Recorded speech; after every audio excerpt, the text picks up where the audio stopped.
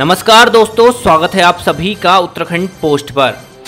मुख्यमंत्री पुष्कर सिंह धामी ने रविवार को सुभाष रोड स्थित होटल में आयोजित कार्यक्रम में प्रतिभाग करते हुए घोषणा की कि प्रदेश में महिलाओं को आत्मनिर्भर बनाने के लिए मुख्यमंत्री नारी सशक्तिकरण योजना का शुभारंभ किया जाएगा। इससे महिलाओं के आर्थिक स्वावलंबन में भी मदद मिलेगी। सीएम धामी ने कहा कि इस योजना के अंतर्गत महिलाओं को स्वरोजगार के लिए ऋण उपलब्ध कराने में आसानी होगी, तथा उन्हें योजना के तहत 30 प्रतिशत अथवा एक लाख रुपए तक की सब्सिडी प्रदान की जाएगी। इससे बड़ी संख्या में महिलाएँ लाभान्वित होंगी। योजना का लाभ अविवाहित, तलाकशुदा, विकलांग आदि महिलाएँ प्राप्त कर सकेंगी। इसके लिए शहरी क्षेत्रों में महाप्रबंधक, जिला उद्योग केंद्र तथा ग्रामीण क्षेत्रों में खंड विकास अधिकारी की अध्यक्षता में समिति गठित होगी, जो प्राप्त आवेदनों पर शीघ्रता से कार्यवाही कर आवेदकों की योजना के अंतर्गत ऋण उपलब्ध कराएगी। मुख्यमंत्री धामी ने कहा कि मातृशक्ति के लिए बेटी बचाओ, बेटी पढ़ाओ तथा उज्ज्वला योजना ने हमारी माताओं और बहनों के जीवन को बदल दिया है। राज्य की आर्थिकी के विकास में मातृशक्ति की बड़ी भूमिका है। महिलाओं को स्वरोजगार से जोड़ने के लिए राष्ट्रीय आजीविका मिशन के साथ ही अन्य योजनाओं से उन्हें जोड़ा गया है। स्वयं सहायता समूहों को पाँच लाख तक बिना ब्याज का ऋण उपलब्ध कराने के साथ ही उनके उत्पादों के विपणन की कारगर व्यवस्था की गई है। प्रसाद योजना भी उनके आर्थिक स्वावलंबन का आधार बनी है। इसके लिए 119 करोड़ के पैकेज की व्यवस्था भी की गई है।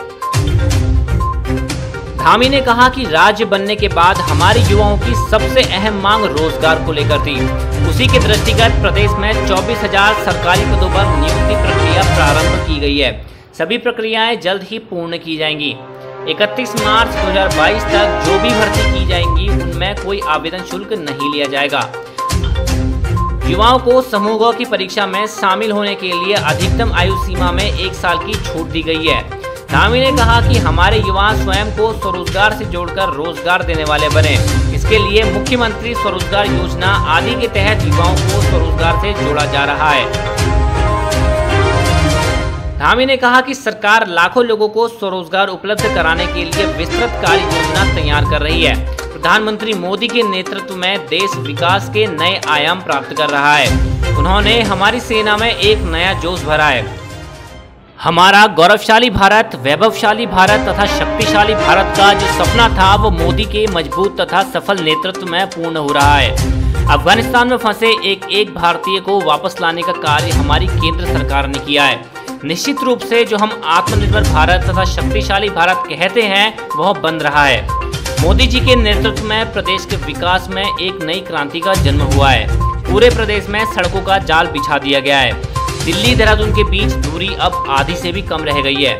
ऋषिकेश, कर्णप्रयाग रेलवे लाइन में आधुनिक मशीनों से टनल का कार्य किया जा रहा है। धामी ने कहा कि कोरोना महामारी के कारण प्रदेश में चारधाम यात्रा पर रोक लगाई गई थी। परंतु हमारे प्रयास से कोविड नियमों के पालन के साथ यात्रा दोबारा शुरू कर दी गई है। भले ही अभी हल्के स्तर पर यात्रा हो रही है, परंतु जल्द ही यात्रा पुराने स्वरूप में आ जाएगी। धामी ने कहा कि हमारी सरकार जो भी घोषणा करेगी, वह अवश्य पूर्ण की जाएगी। अभी कोविड 19 के कारण प्रदेश की आर्थिक गतिविधियाँ प्रभावित हुई हैं।